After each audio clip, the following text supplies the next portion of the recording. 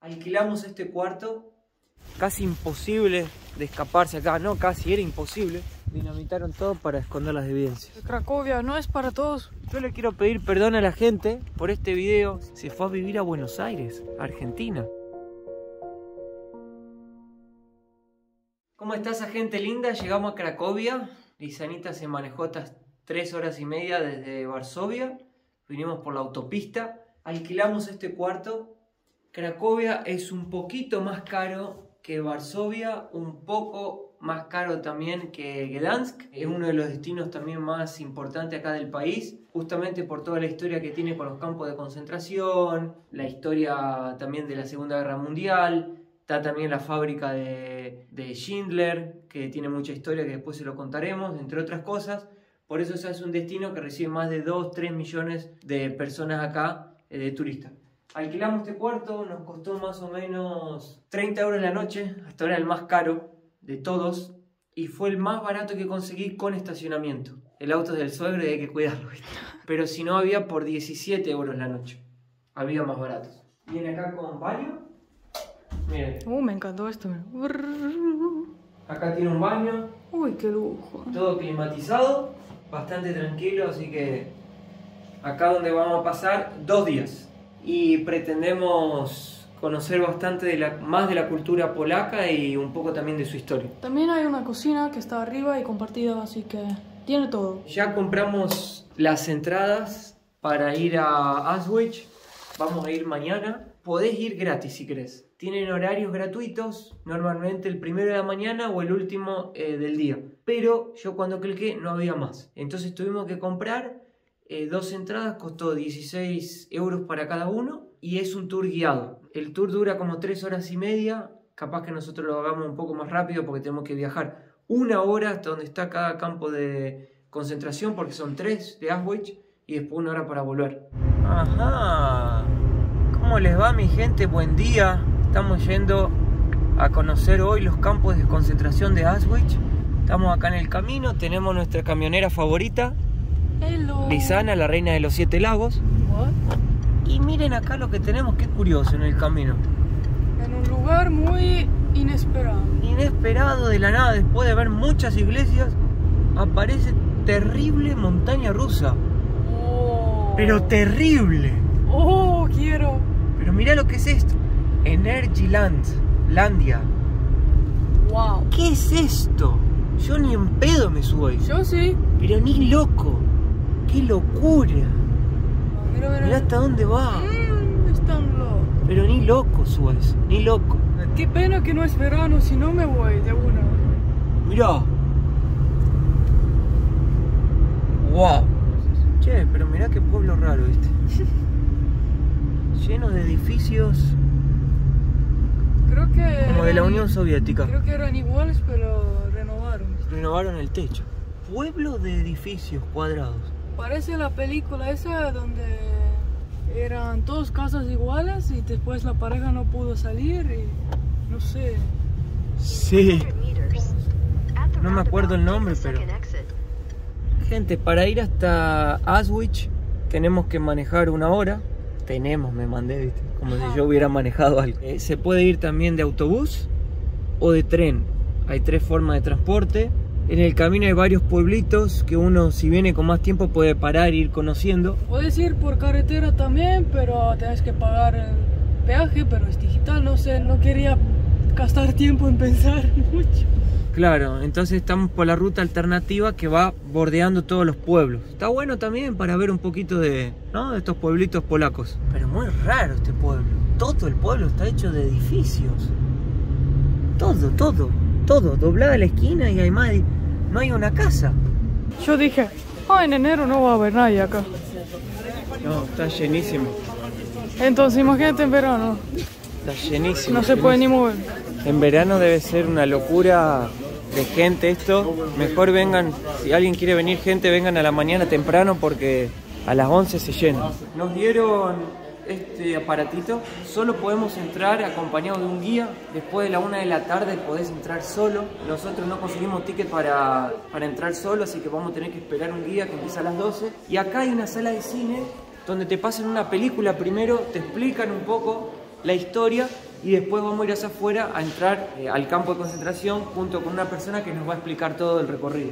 Para nomás contextualizar un poco, son tres campos de concentraciones. El número uno es el que estamos ahora en este momento, que era donde estaba la administración de lo que era Auschwitz. El número dos, que es donde está la cámara de gas y era el campo de exterminio. Y el número tres, que era justamente donde eh, buscaban, digamos, los, los judíos o los presos de guerra más fuertes y los ponían a trabajar porque ahí había una fábrica. O sea, se trabajaba para una fábrica química.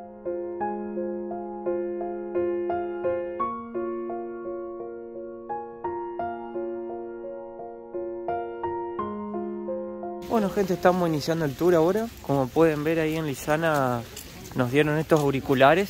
Ahí es donde el guía va explicando que está allá adelante y nosotros vamos escuchando toda la historia. Ya cuando acercamos con el auto a este lugar, me vino como un sentimiento raro en mi cuerpo porque, bueno, todo lo que pasó acá, ¿no? Es inevitable sentir esa energía bastante pesada en el lugar.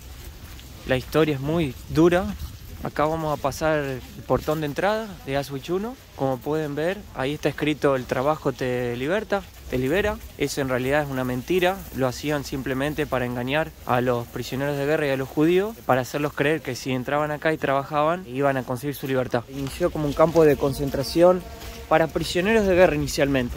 Venían prisioneros, personas que eran contra del sistema que quería implantar la Alemania nazi. Fíjense ahí lo que son esos alambres de púa, casi imposible de escaparse acá, no, casi era imposible. Ahí estaban los guardias. Y este campo también era responsable por la administración de todo Auschwitz, de todos los otros campos de concentración. En esos edificios eran para 700 personas, pero como no había lugar, ponían hasta mil personas en uno de esos. Entonces imagínense qué poco espacio para cada uno. También ellos los prisioneros construyeron esto, entonces no podían ni descansar ni comer nada.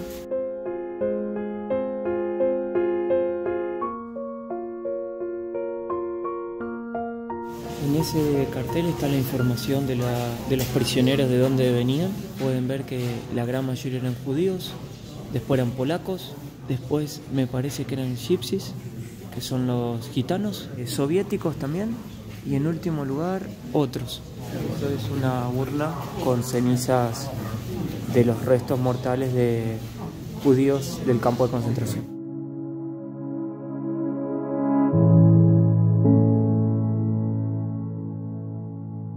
Eso que ven ahí es el Ciclón B, es el veneno que era utilizado en las cámaras de gas para provocar la intoxicación de, los, de las personas que entraban ahí, de los judíos, y asesinarlos. Ahí están las latas donde era el veneno.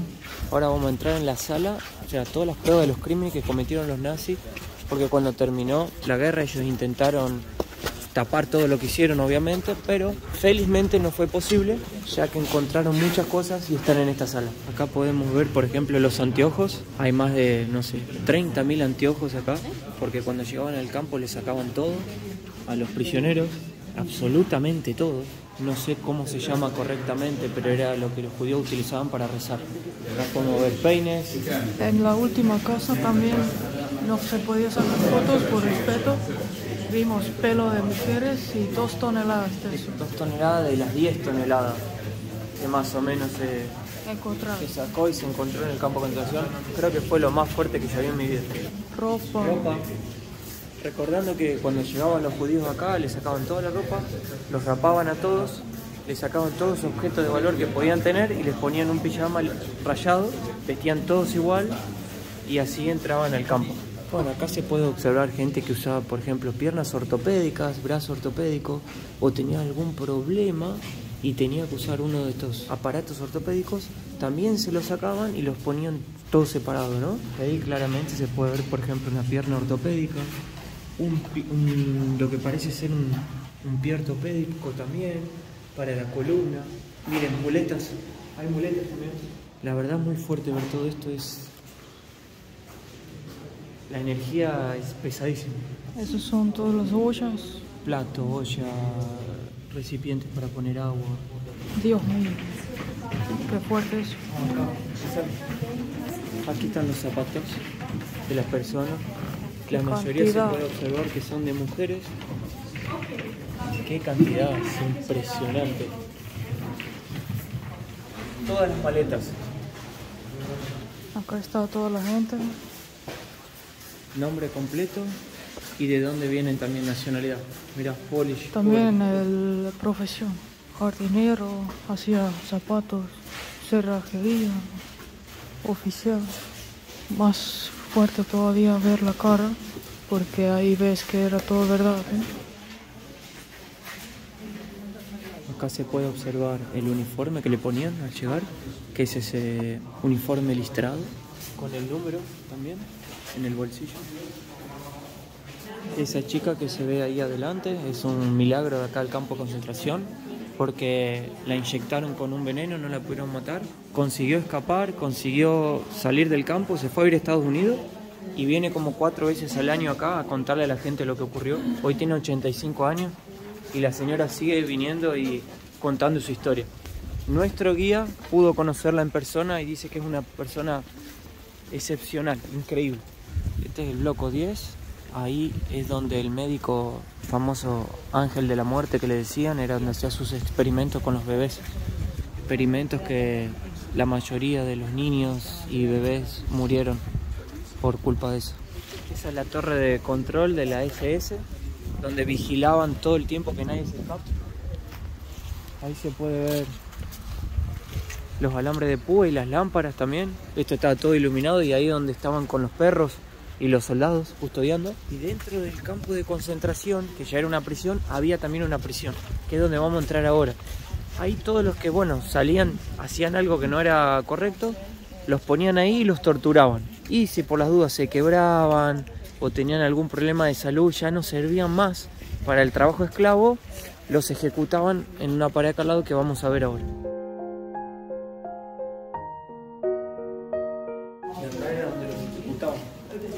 Ahí, en esa pared. Sobre el tour en sí, a veces mueve muy rápido porque hay mucha gente. Sí. A veces se siente hasta claustrofóbico porque te viene, tu grupo sigue, pero te viene gente de atrás, entonces como que Tenemos que ir acelerando el paso. acelerando y a veces sentís que, no sé, empujan. ¿no?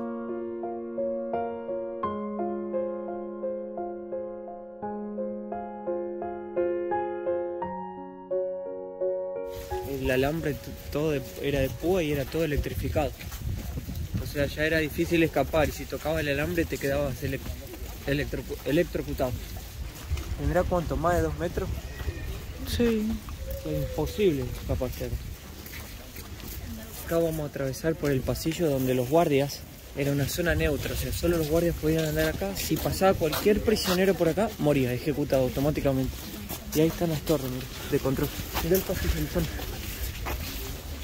fondo. Mirá lo que era este estás caminando acá y pensar que pasó todo esto acá es Sí, horrible. es impresionante. Bueno, ahora vamos a entrar lo que considero lo más difícil para mí de todo este paseo, que es la cámara de gas. Esta era la más chica que había, fue una de las primeras que fueron construidas. Ahí estaba la casa del general, a 50 metros nomás, que vivía con su familia una vida normal. Atrás un campo de concentración y acá la cámara de gas. No se puede creer, pero es la realidad de la historia. Vamos a entrar ahora dentro de la cámara de gas, donde le decían a los judíos que era un lugar para bañarse, que no se preocupen, que se saquen la ropa. Ponían todas cañerías como si fuera una ducha real para que ellos crean que era una ducha. Obviamente entraban y nunca más salían. En este lugar se puede eh, entrar, podemos filmar, pero no se puede hablar en respeto a las, todas las víctimas que hubo. Vamos a filmar, pero sin hablar absolutamente nada.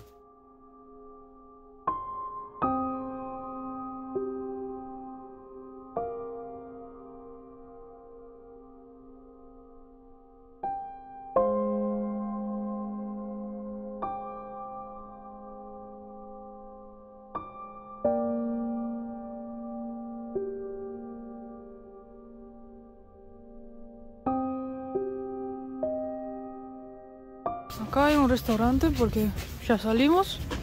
Antes de ir al segundo. Hay ¿Estaría una empanada. empanada, mi amor? Bueno, Bueno, calzones. dos calzones. Sí.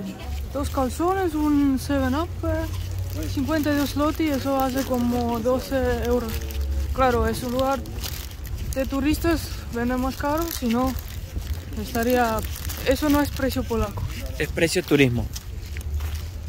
Ah, parece empanada, pero es calzone, como en Italia, es como pizza doblado.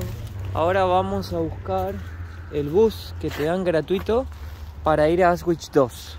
Auschwitz Birkenau.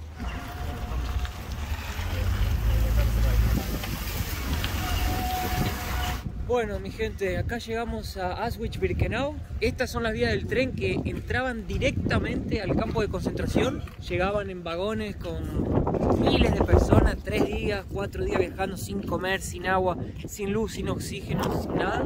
Este campo sí era un campo de exterminio. Acá la gente que venía, venía realmente para ser exterminada. Ahora estamos entrando en el segundo campo de concentración. Acá la entrada es gratuita a la tarde, no nos pidieron entrada y también lo puedes recorrer solo, no tienes que seguir el guía. Nosotros ya pagamos el guía, pero igual para tener un poco más de espacio y poder hacerlo tranquilo, mejor vamos solos. Vamos a ir leyendo, vamos a ir entrando los carteles y recorriendo. Bueno, acá estamos entrando en lo que eran los baños. Fíjense qué simples que eran. Era solo un agujero básicamente, sin ningún tipo de nada. O sea, yo me imagino el terror que fue eso porque hoy en día puedo decir de mi propia personalidad, soy tímida, no sé, me quejo de ir a una, una ducha en un spa pública porque no quiero mostrar mi cuerpo, qué sé yo. Entonces imagínate, acá todos tuvieron que estar juntos como miles de personas sin ninguna privacidad, ningún derecho, sufriendo. y escucha, enfermedades, frío, porque no, no te daban ropa para el invierno. Era la misma ropa todo el año. Pensá lo que era. Y el olor era imposible de soportar. Hecho de madera nomás. Y hecho de madera. Hasta el viento pasa. Vamos a ver qué, qué hay acá adentro. Estas son las camas, Lisana. Réplica. ¿Son réplicas? Ah, bueno. Pero así dormían. ¿Pero por qué tan anchos para varias personas? Sí. Varias personas, los colchones eran tipo de, no sé, de paja, no sé de qué eran. Durísimos. Tenían que dormir todo apretado. Pensá que si esto tenía espacio, no sé, para 800 personas metían 1500, 2000. Siempre estaba súper poblado esto. O sea, nunca era la capacidad correcta. Vos pensás en el invierno cuando acá empieza a nevar, mi amor, y hace, no sé, menos 10, menos 20. El frío. Ah, ahí está la foto, mirá. Ahí se puede ver.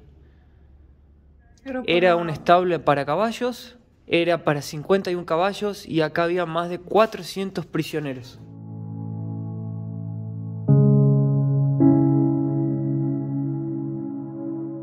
Acá hay un portón, más parece un portón del infierno, porque entras acá y no salís nunca más. Es una foto de los niños y las mujeres, porque eran quienes traían acá en este campo. Mujeres y niños. Que es el hambre de púa. Ay, ponían también una, una cuneta ahí para hacer más difícil todavía el escape.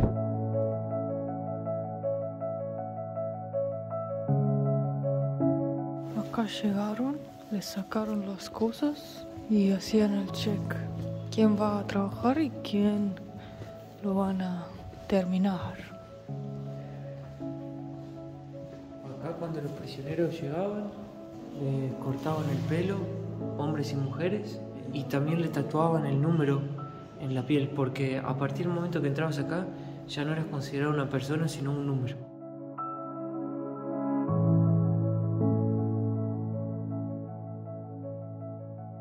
Eso fue destruido por dinamita después, pero acá era la cámara de gas. Ahora quedaron ruinas, pero acá sucedió esto. Acá se puede ver cómo era, las fotos. Dinamitaron todo para esconder las evidencias. Los crematorios. ¿Ves? Acá había dos cámaras de gas. Acá estaban las más grandes de todas. Alrededor de 5.000 personas al día entraron en la cámara de gas. Después como aumentaron para 8.000 y para 10.000, el crematorio ya no daba más abasto. Ya no podían cremar toda la gente dentro de los crematorios. Entonces hicieron fosas y los mismos judíos tenían que agarrar los cuerpos, ponerlos dentro de la fosa y cremarlos. O sea, aparte que ya tenían que sufrir todo esto, tenían también que ver a sus sus amigos, sus colegas, sus familiares sufriendo. Yo diría que Cracovia no es para todos, para cualquiera, porque es muy fuerte venir acá y recordar esto y escuchar la historia. Se siente todo el tiempo como una angustia, tristeza, se te pone la piel de gallina a ver ciertas cosas. En ningún momento te va a dar gana acá de, de sentirte bien, ¿no? Pero al mismo tiempo es muy enriquecedor para aquellos que vieron las películas y todo y poder verlo en la vida real es, es impagable esto, o sea, es un pedazo de historia de la humanidad que poder estar acá es algo, es, es como un sueño realizado. Yo tenía un tío mío, se llama Esteban, él era fanático de esto, fanático, se leyó todos los libros, se vio todas las películas, todo. El sueño de su vida era venir acá. Infelizmente falleció de cáncer joven. Este video yo se lo quiero dedicar a él porque yo sé que él, si hoy estuviera acá, sería el tipo más realizado del mundo. Estaría acá, sabe toda la historia, todo. Pero bueno, infelizmente no pudo. Se nos fue ante tío. Así que este video para vos. Acá tenemos más lo que serían se pueden ver camas ahí. Ahí eran donde dormían los prisioneros. Este campo de concentración es mucho más grande que Auschwitz 1, pero acá también fue donde murieron básicamente más de un millón de judíos. Fíjense cómo hay más y más y más de estas cabañas o no sé cómo llamarlas. No sé si se llega a ver, pero ahí están las camas. Bueno, ahora vamos a entrar en una de las construcciones que estábamos viendo por fuera. Bueno, acá pueden ver, estamos dentro de una de las construcciones donde dormían. Fíjense, todo hecho de madera, bien frío duro, ¿no? Acá hay más un espacio que no sé. Ah, esto parece ser como el baño. Me parece. Acá donde los prisioneros realmente dormían, si así se puede decir, cuando podían dormir y los dejaban. Fíjense lo que es por Dios. Esto como una especie de estufa parecería. Acá está el baño. Acá están los baños. Wow. Muy simple. Sin ningún sistema de desagüe, nada. En condiciones las peores posibles para un ser humano. Ahora estamos en la barraca donde ponían a las madres y a los niños. Y un niño hizo este dibujo en esta pared dentro de la barraca. No se sabe quién fue, pero quedó esto acá como un, ¿no? algo histórico, ¿no? Grabado acá en esta pared como recuerdo.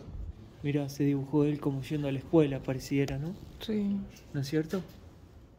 Fíjense, los niños solo querían jugar, querían divertirse y eso es lo que ellos imaginaban, ¿no?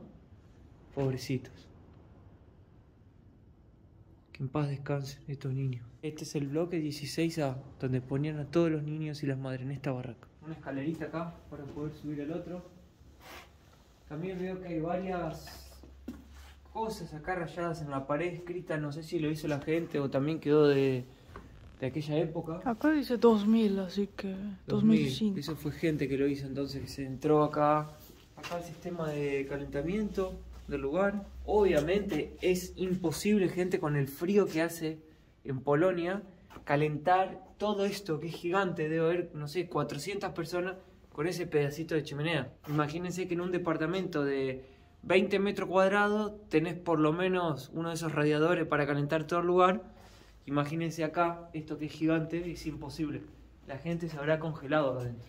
Y aparte calentaban con lo que encontraban, pedazos de palo de construcción, lo que sobraba y se lo tenían que robar o esconderlo para poder traerlo. Porque ni siquiera los dejaban. Fíjense, más escaleritas acá para subir ahí a la parte de arriba. Dormía gente también abajo, me imagino. Pegado al piso debe haber sido el peor lugar para dormir porque agarrás toda la humedad del suelo. Y lo que más me pongo a pensar en este lugar es saber cómo convencían a los chicos. A un chico de 5 años, de 3 años. ¿Cómo le explicás que no puede salir corriendo, que no puede llorar, que no puede gritar porque lo pueden ejecutar. Eso es lo más duro para mí. ¿Cómo le hace entender a un chico de eso? Y también acá hubo más de 900 partos. Niños que han nacido acá adentro. Madres que tuvieron sus hijos acá. Y de esos 900 parece que solo 40 sobrevivieron. El resto ya se sabe el final. Eh, había un doctor que hacía experimento con niños recién nacidos, otros los han simplemente puesto en la cámara de gas. Y así fue la triste historia de este lugar. Acá estamos enfrente de una barraca especial. Esta barraca era diferente porque acá todas las mujeres que básicamente tenían algún problema, sea de salud, sea tipo no tenían fuerza suficiente para trabajar o lo que sea, los ponían acá a esas mujeres. Las dejaban unos días, a veces hasta unas semanas, y después las llevaban directo a la cámara de gas. O sea, este lugar era básicamente una espera para la muerte. Y como a veces se llenaba tanto, tenían que quedarse acá afuera, en este patio, esperando, en el frío. Y entonces ya morían mucho antes de ser llevada a la cámara de gas, porque imagínense el frío que hacía acá. Vamos a entrar a verla a ver si tenía algo diferente. Básicamente es igual, solo que esta no tenía ni baño ni ducha. Porque los nazis hicieron los baños y las duchas un tiempo después de que empezaron con los campos de concentración. Los prisioneros tenían que hacer sus necesidades en el, en el patio, en cualquier lugar que encontraban para hacerlo, tenían algunos minutos a la mañana y otros minutos al final del día. Y las mujeres cuando tenían la menstruación le duraba pocos días porque no había comida. Entonces al no comer, al no estar nutrida, la mujer menstruaba uno o dos días nomás. También esto estaba lleno de ratas porque las ratas se alimentaban de los cadáveres. Entonces había ratas que eran tan grandes y tan gordas que hasta atacaban a los, a los prisioneros enfermos. La rata ya iba y ya hasta a veces se atacaba a una persona que estaba viva todavía. Yo le quiero pedir perdón a la gente por este video. Siempre hacemos videos divertidos para que se rían. Videos para, no sé, nosotros nos gusta más con Lisana eso. Pero hoy nos tocó un video triste. Pero un video también para reflexionar un poco eh, todo lo que pasó en la humanidad, ¿no? Creo que también agrega en ese sentido, pero hoy no es imposible sacar algo que valga la pena de felicidad en este video. Creo que esto parece ser un baño, ¿no es cierto, mi amor?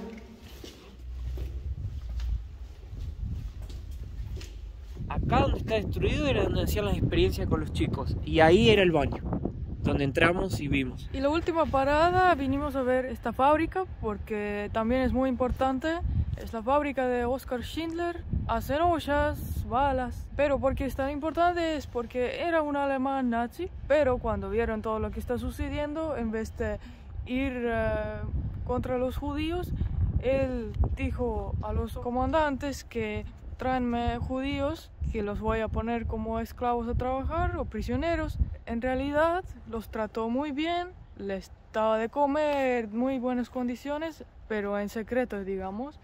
Y al final perdió todo, pero él salvó más de mil judíos gracias a eso. Eh, Schindler terminó fundido porque para poder conseguir que le deje entrar los judíos, él sobornaba a todos los comandantes de la SS, de la Gestapo, del alto comando de, de los nazis, ¿no? Y para que también no le maten a sus empleados. Entonces él sobornaba, sobornaba y seguía trayendo y salvando gente. Él era un empresario que en vez, como dijo Lisanita, en vez de seguir ayudando con las atrocidades que pasaban en ese momento, decidió ayudar a salvar vidas.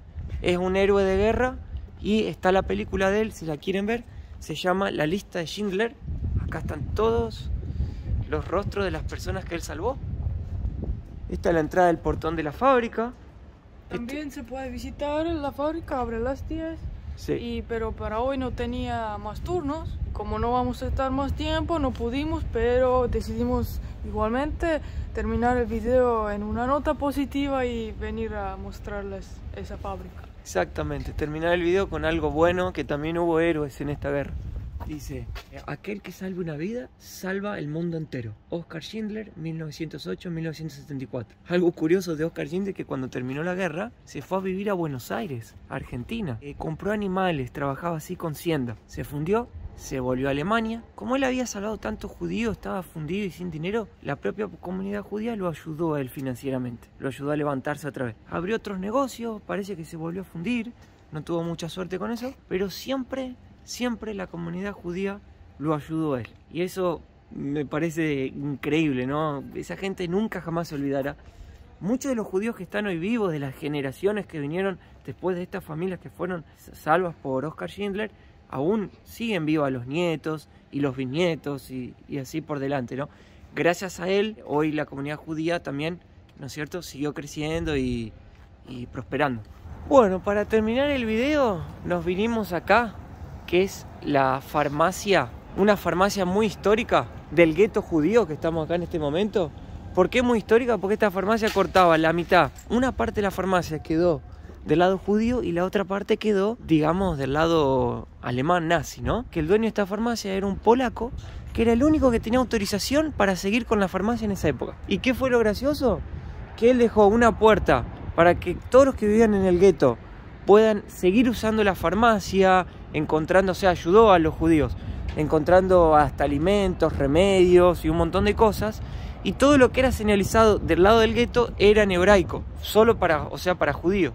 Y del otro lado de la entrada de la farmacia, que se ve allá, era en, en alemán. Y esta farmacia fue histórica porque acá los judíos se juntaban para conspirar contra el, el régimen nazista que existía en la época.